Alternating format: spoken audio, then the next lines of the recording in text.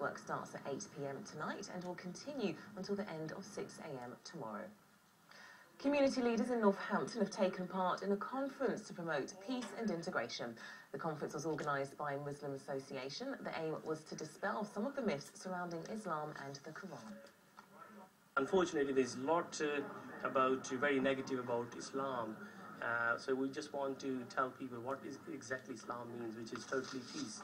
Generally, Islam is unfortunately believed to be a religion of terror, while far from it, Islam is the embodiment of peace. All this week, the BBC is encouraging